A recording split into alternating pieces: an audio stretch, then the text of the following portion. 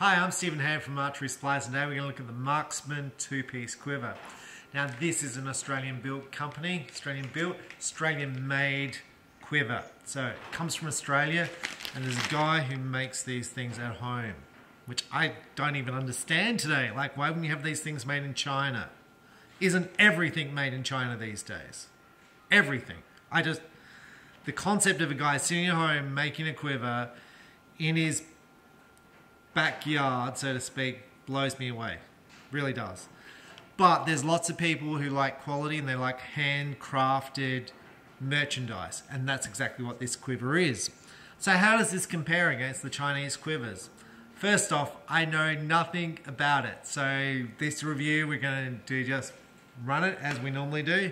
We're going to compare the cheap Chinese quivers, we're going to compare the American two-piece quiver, which is expensive, and we're going to compare this quiver.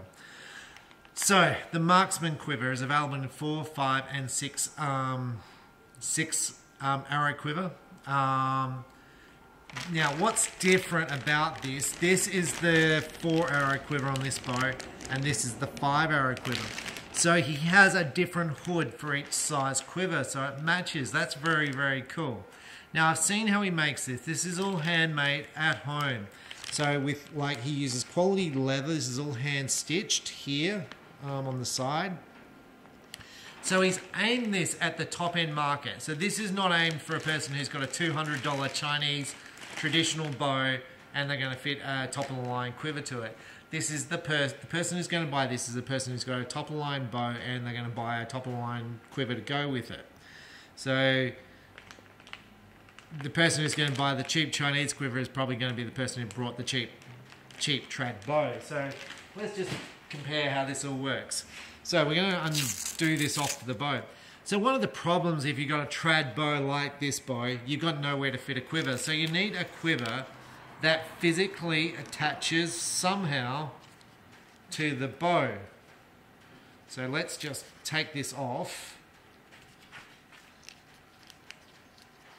Let's just take this off and see how it all straps on. Okay, so this is the system here. He's got a nice little mark here. You can see it's quality leather. This is foam in here. It's very solid. Now the bracket here, this is solid steel here. Um, it's a bolt into here.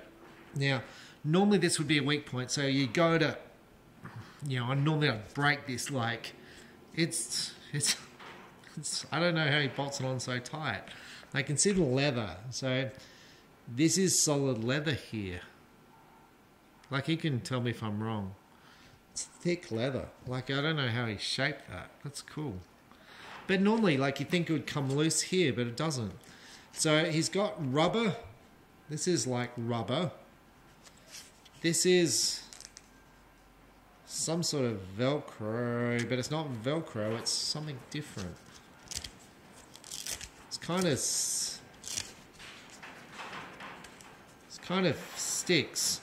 So the way it sticks to the bow, let's just reverse engineer. You're like, Stephen, you should have done, check this out before you did the review. Yeah, probably. Wait, how does this work?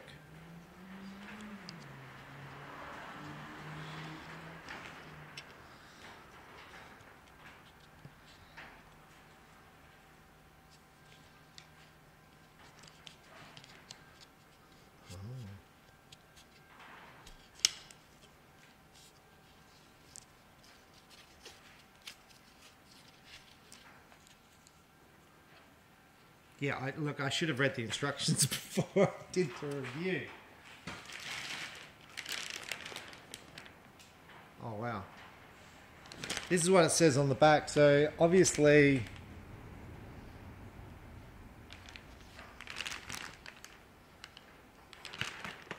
Look, there might be instructions under there on how to connect this.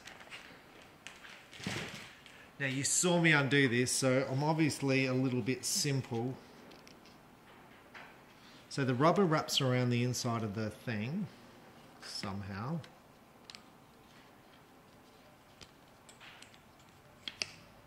You? It's got to wrap around this way.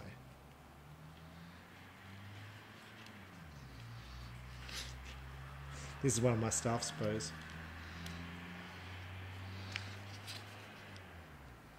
And you thread this through.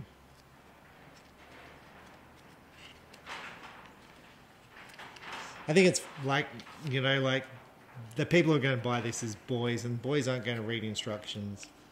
So it's a bit hard to get that through there.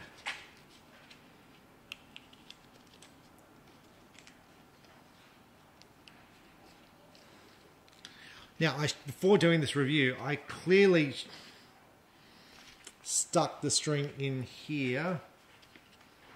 I clearly should have watched someone put this quiver together.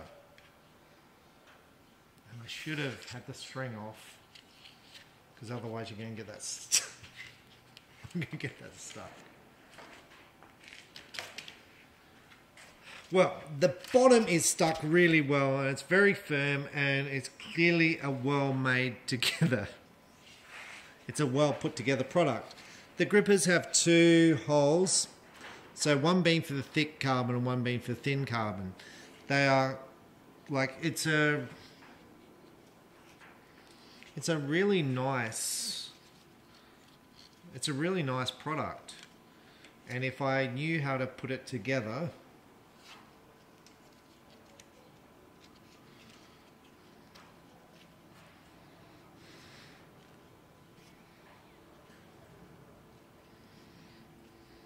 making this look really hard. And I always get a bit worried when I do these reviews that um, the person that the person whose quiver this is is going to then hate me. Oh look, I've done it. It's uh, look, it's an interesting wrap around system. So basically, the rubber is wrapping around, and the rubber's actually holding this quiver in place, and it's it's not going anywhere. Let's go and have a shot with this quiver that I've just bodged onto this bow without anything. Look, so the way I did it, I wrapped the rubber around, you obviously saw me did it, and I kind of pulled it back on itself with this metal bracket, and then the Velcro just holds it all into place. It's, it's very well put together quiver. Now, the issue with this quiver is the price point. It comes in different colors, I'm pretty certain. Um, that's just me guessing, but I'm pretty sure he does do it in different colors. Um, pro- problem is the price point. It's $245 Australian dollars. So in America, if you're coming from America, that's going to be costing you about 190, maybe 180 American dollars. So it's more expensive than your Thunderhorn and all those. But we have the Thunderhorn quivers to look at. So let's look at those and see how these compare. Now I've looked at two-piece quivers before for bows and they've been pretty average. So let's have a look at them. Right, so this here is your quick mount strap-on Thunderhorn quiver. This was this was your bee's knees of two-piece quivers. Price point in Australia going to be somewhere around towards your $200. Oh, uh, look, look how much simpler this is. It's a simple little clips on between your limbs.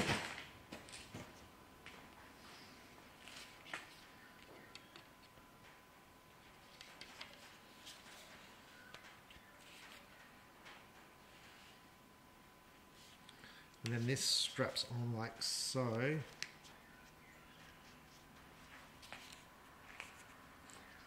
It's kind of interesting. So this is a different system. So this is a wedge. Um, now, I think there's some key differences here. So this is a wedge which is pulled onto the um, limb, and then you're using a rubber strap to pull it to pull this quiver onto the limb. So you're kind of wedging this quiver up against the limb. Um, interesting. So some quick observations. So over time, this will fatigue and the rubber will obviously wear out. Where on this one here, You've got Velcro here. I think this would be longer lasting. The Marksman quiver. The it's quite tight. It's a different it's a different system locking down. Interesting.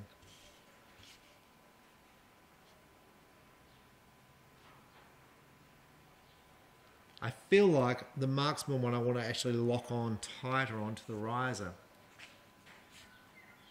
Interesting. Now, interesting.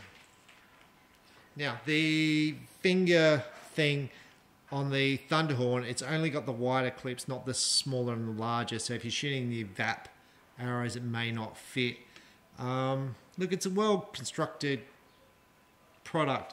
The hood itself, I think you'll probably find it's plastic with thin leather wrapped around it, where I'm pretty sure the Marksman is solid leather.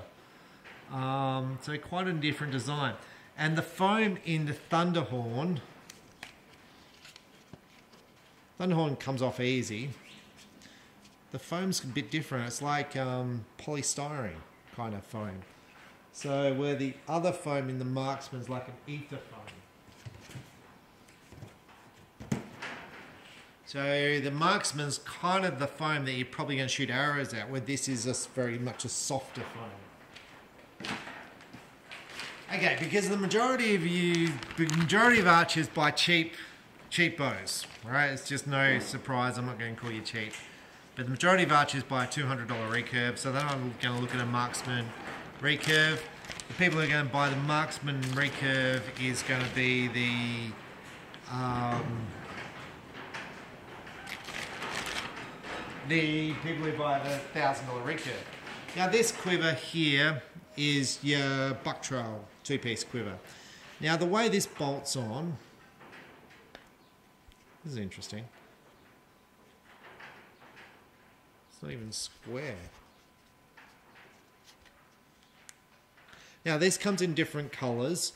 Now this comes in so many colors it does my head in. I'm going to guess this is the olive, but it may be the brown. I'm not saying it's brown, it's probably olive.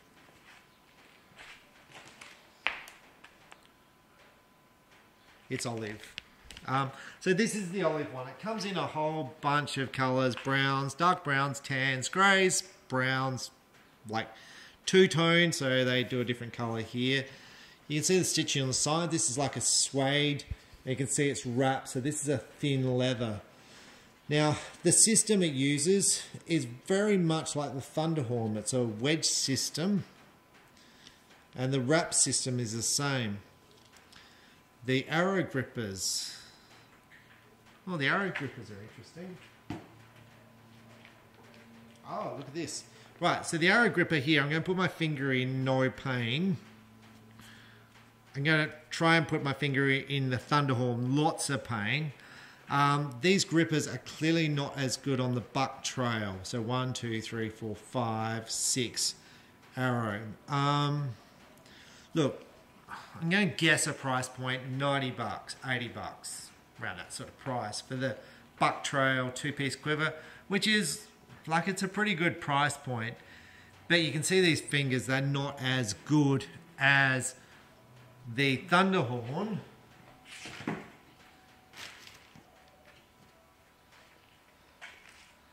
And I'm going to say probably not as good as these ones. So yeah, let's go into the range and let's shoot this quiver and see how they kind of stack up and let's see if it moves and vibrates after my poor attempt to mount the mount the head to it. So I've set up the bow, I've put some trad arrows, and these are these arrows are one of my staff's arrows, which he doesn't know I'm using, and this is one of my staff's bows that he doesn't know I'm using. So um, these are Bodkinik, Bodkinik bows, so I'm pretty sure these come out of Europe. Um, and we sell them, obviously. Um, I forgot the name of the bow, but it, it's quite affordable. Um, never shot this is the first time shooting this bow.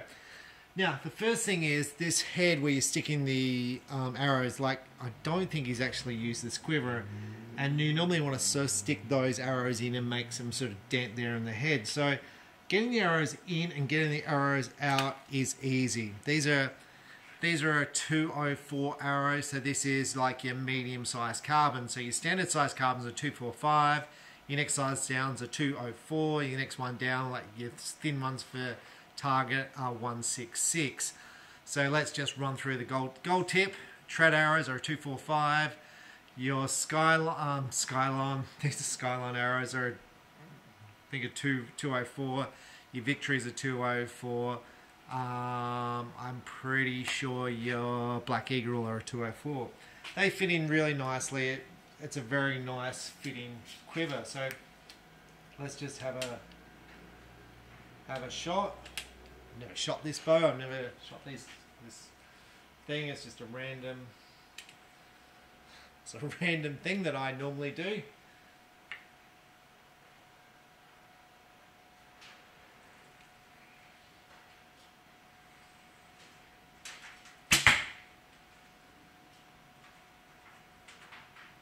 quiet, no vibration at all of the quiver. That was actually really surprising. Um, now, I'm really surprised about how quiet that bow was. And the other day, we obviously lost our pet rabbit. I now know who took the pet rabbit. And you're going to say, what are these things? Part of the rabbit, obviously. Um, these are bear paw. They're um, little fluffs, and he's got two of them on there. Like, did, did you like? Did you hear that? That was just like dead. Now these are a 400 spine arrow. This is a 50 pound longbow.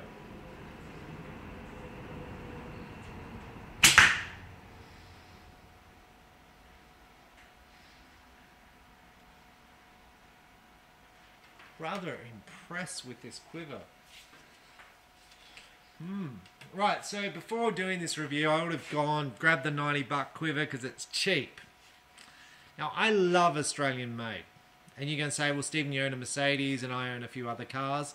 I always purchased Australian built cars um, and I believe in Australian built stuff. But when you go and look, this thing is $245 and this Chinese built quiver, the Buck Trail, is 90 bucks. Well, Stephen, you're asking me to spend $150 to support Australia. Well, yeah, no, yes and no. What I'm saying is this is made in Australia and it's cool. He's he's put some time and thought and come up with a premier product. Now, let's say this was a Chinese quiver made in China. Not Australian built quiver. It's clearly better than the buck trail quiver. Clearly better.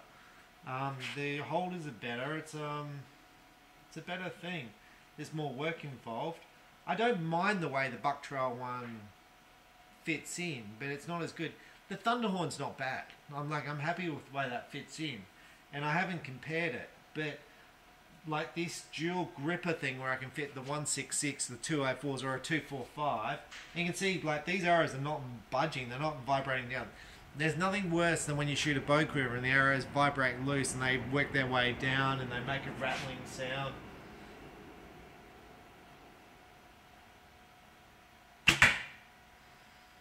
Silent. That's so good.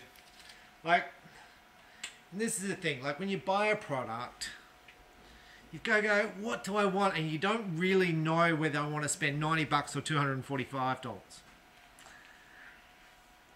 Now, one of my staff here brought this quiver for his bow, and he has an expensive bow, and he's like, "Look, this is the bee's knees. This is the best quiver. I'm going to fork out the two hundred and forty-five dollar quiver because I've been shooting for years. Buy once, cry once." Um, because if you buy the cheaper quiver, and although it's cheaper, like if you're not happy with it, there's no point in it. Um, now, in the past, I've never been happy with bow quivers on trad bows, and hence I've never shot them. I've shot back quivers, which you've probably seen me fiddle with a bit. They've always been rubbish. They're rubbish to get your arrows in. They're rubbish to get your arrows out. They're noisy if you're hunting because your arrows are like rattling around. This is it's compact. It's good.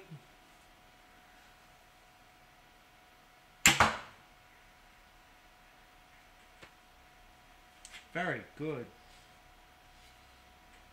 Look, I don't. I'm, I'm going to sound ignorant. I don't know who the person is who makes these quivers. Um, he probably buys stuff from me. I'm sorry, I haven't kind of paid much attention.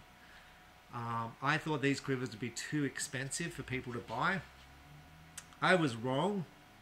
We've actually sold quite a few of these quivers. Um, I think we're the biggest supplier of these quivers in Australia. Um, and yeah, they don't apply to everyone. Like, not everyone's going to buy these quivers because most people buy a $200 bow and they're going to put a cheap quiver on it or a shoot a cheap hip quiver.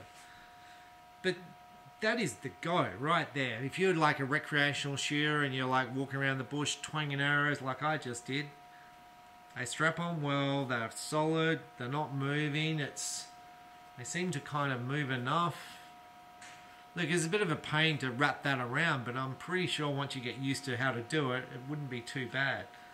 Um, so that's the marksman quiver. I'm pretty sure he's got a video on how to do it all, and I'm pretty sure I've seen videos of him building these quivers in his backyard, um, and sort of laying up and laying up the designs. And I do like Australian built products. Um, not that I dislike the Chinese or the Germans or the American products. It's just it's kind of cool that something's homemade. That someone's someone's gone look. There's a need in the market for a quality product. I'm going to make a quality product, a premier product, and then and it's a small niche market. It's just like how many of these how many of these quivers is he going to sell a year? Is he going to sell a hundred of them? maybe. Um, but think he's done well. I think it's a it's a nice little mark. Um, I think it's pretty cool. We better get the six arrow one in. So it comes in four, five, and six arrows. I'm going to guess most people will probably go for a four, four or five arrow quiver. Um, but pretty good. Really like it. Marksman's Quivers, so check them out now. Um, I'm pretty sure I'll put a link to his website on this video so you can see all the different colours of quivers he's got. Um, but very nicely, very nicely made as far as the quality of it. So I'm Stephen Ham from Archery Supplies. That's the Marksman Quiver. This is this longbow, which is very, very quiet and very nicely made. We should do a review on this and shoot it through and check it out. But nice little longbow, bit different. Thanks for watching. Bye. Okay, just a quick snippet on these arrows. These are bent woods from Skylon. So this is one of my staff's trad bows, and he's made these arrows up himself. And the way he's done this is he's cut the feathers himself, and then what's it called? We uh, join them together. Um, I think that looks awesome. This here is a wrap. Um, it's a shrink wrap, if that makes sense. So you can either dip it in water or use a hairdryer and it sticks in. And I think it just look, he's just done an amazing job with them. So I always think it's cool when staff take the initiative and learn to do stuff. Um, like he's spliced that. So that's it's obviously a green and white feather. He's gone one bit, two bit, three bit, four bit, five bits of feather um, versus two bits. Like that's cool. And that's what Trad's about, in my opinion. You know, making arrows and you know, come up with your unique look. So that's arrows.